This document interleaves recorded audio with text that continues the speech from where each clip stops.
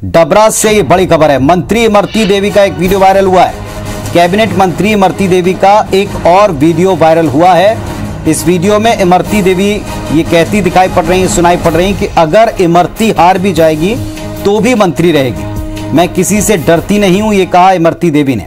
हालाँकि आईबीस 24 इस viral video की पुष्टि नहीं करता, लेकिन ये वीडियो जमकर वायरल हो रहा है, जिसमें कैबिनेट मंत्री कह रहे हैं, हार भी गई तो मंत्री रहेंगे। इमरती देवी का दिल बहुत बड़ा है। आप जब भी चाहो अजमा लेना। इमरती देवी आपके लिए ढाल और तलवार दोनों बन के खड़ी रहेगी। आपकी सुरक्षा के लिए। इमरती देवी कभी किसी से नहीं डरती। इमरती देवी मैदान में घूमती है। ऐसे डराने वाले तो कई आगे पीछे घूमते हैं। और मैं आपसे एक बात और कहना चाहती हूँ कि अगर इमरती हार भी जाएगी तो भी मंत्री रहेगी। तो वायरल हो रहा है ये वीडियो हालाँकि हम इसकी पुष्टि नहीं करते लेकिन इस वायरल वीडियो में जो कहती सुनाई पड़ रही है इसको लेकर अब चर्चाएँ शुरू हो गई। सचिन हमारे सहयोगी जुड़ गए सचिन एक बार फिर इमरती देवी का एक और वीडियो वायरल एक और दावा जिस पर शायद आगे जाकर विपक्ष के लोग आपत्ति उठा सकते हैं।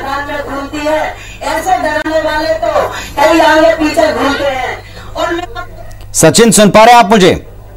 जी बिल्कुल मैं आपको सुन पा रहा हूँ। क्या मेरी आवाज़ आपको आ रही है? जी। जी आ, मैं आपको बता दूँ कि आ, सबसे पहले आईबीसी 24 पर ये वीडियो दिखाया जा रहा है। हालाँकि आईबीसी 24 इस वायरल हो रहे वीडियो की पुष्टि नहीं करते हैं।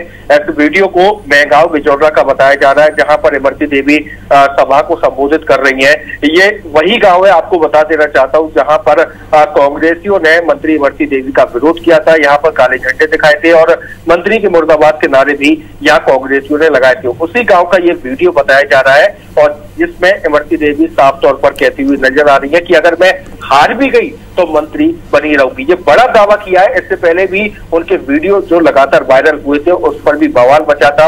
और ज़ाहिर सी बात है, इस वीडियो पर भी बवाल बचेगा क्योंकि अब मध्य प्रदेश में आचार संहिता लग गई है। डबरा उप- उपचुनाव होना है, वहाँ पर आचार संहिता लग चुकी है। और इस समय अगर बात की जाए तो आचार संहिता लगने के बाद एक और नया वीडियो आता है तो ज़ाहिर सी बात है, कांग्रेस को बैठे बैठाए यहाँ पर एक और मौका मिल गया है।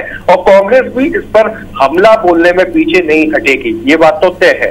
पुनीत बहुत शुक्रिया आपका सचिन। इस पूरी डिटेल के लिए जानकारी के लिए तो जैसा सचिन बता रहे थे कि एक और वीडियो आ चुका है और इस वीडियो के वायरल होने के बाद फिर से विपक्ष या कांग्रेस पार्टी से मुद्दा बना सकती है।